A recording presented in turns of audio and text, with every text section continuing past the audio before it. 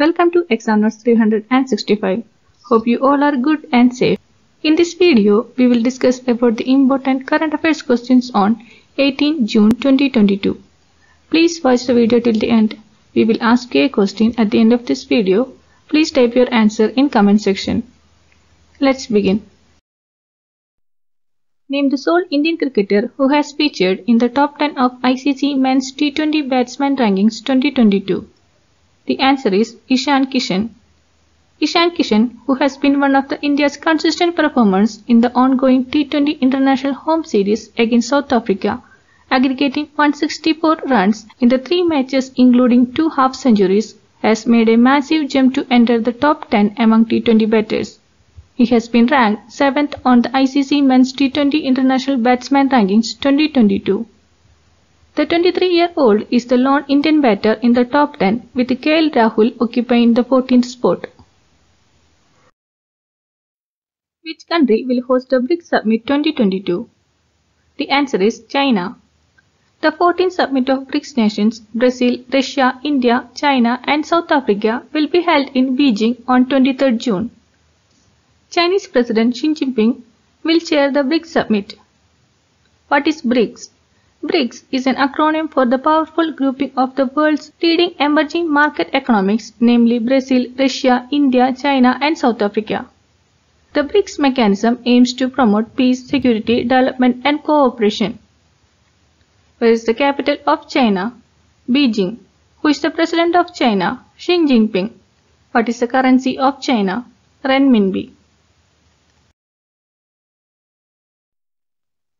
Which Indian state has ranked at the first position in Asia's Global Startup Ecosystem Report 2022?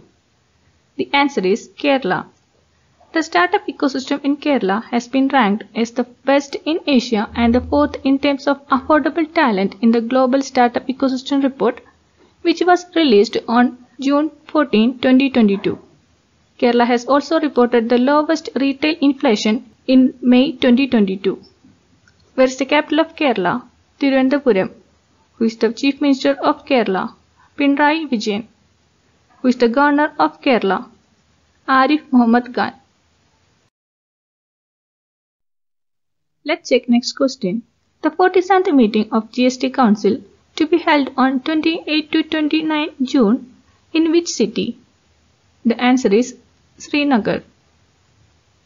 The 47th meeting of the GST Council will be held on June 28 to 29 in Srinagar. This is the second time that the GST Council meeting is being held in Srinagar. The GST Council, chaired by Union Finance Minister and comprising state counterparts, is also expected to discuss the report of the panel of state ministers on rate rationalization and also the tax rate on casinos, racecourses and online gaming. RBI has increased the age limit of e-mandates for transaction from Rs 5000 to 15000.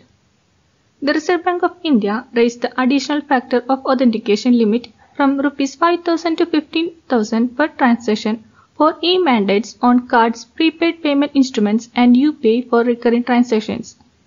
It implies additional authentication will not be needed for payment of Rs 15,000 per transaction. What is e-mandate? Under e-mandate, an individual can give standing instruction to the bank to debit a specific amount automatically on recurring basis. Let's talk about Reserve Bank of India. Reserve Bank of India is India's central bank and a regulatory body responsible for regulation of the Indian banking system. It is responsible for issue and supply of the Indian rupee. RBI established on 1st April 1935 under the RBI Act 1934. Where is the headquarters of RBI? Mumbai. Who is the governor of RBI? Shaktikanta Das.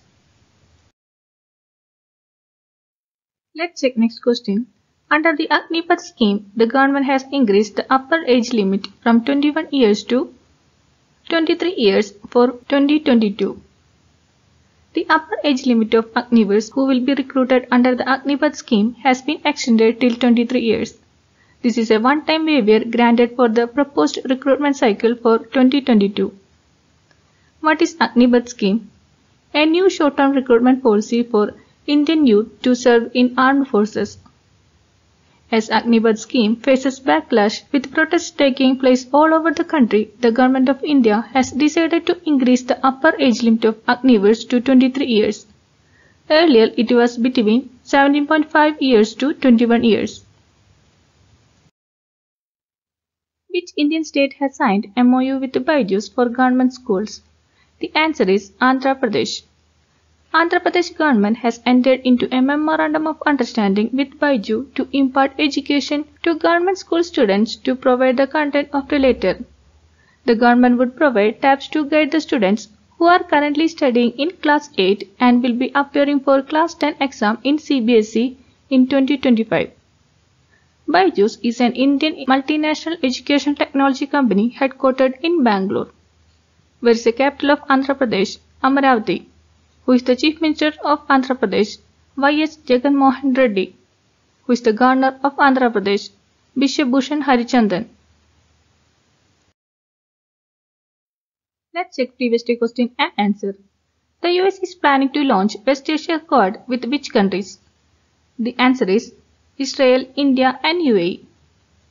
The US will launch a new four-nation dialogue with India, Israel and the United Arab Emirates during President Joe Biden's visit to the region next month. It will be called I2U2 for India and Israel whose names begin with the letter I and the US and the UAE that begin with the letter U and will be focused on West Asia. Where is the capital of US? Washington DC. Who is the president of US? Joe Biden. What is the currency of US? United States dollar.